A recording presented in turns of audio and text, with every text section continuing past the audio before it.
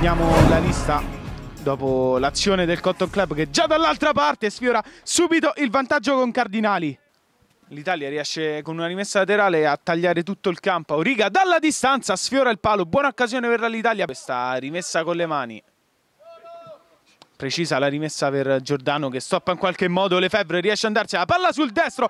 Lefebvre non sbaglia. Come al solito segna lui. Fa l'1-0 lo Sport City. Sembra muovere i passettini De Santis che prova a sparare, Santarelli si frappone. Vedremo davvero, intanto Mele prova a stoppare il pallone, riesce ad andarsene a Novelli che quindi è tornato in campo Mele. Il tacco di Lefebvre, la palla arriva in porta, calciata da Cardinali con il destro, in qualche modo Calcalo è riuscito a far filtrare questo pallone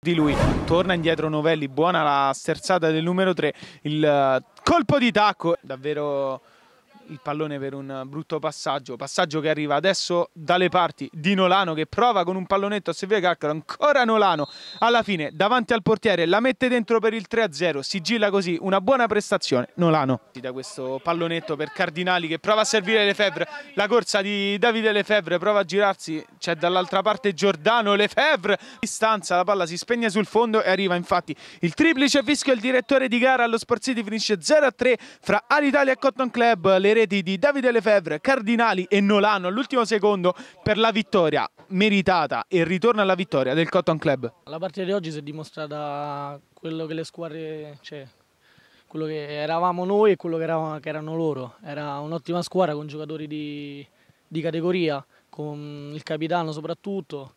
Hanno dimostrato la loro superiorità sul campo e noi abbiamo provato a tenere, a tenere il gioco, però è andata così.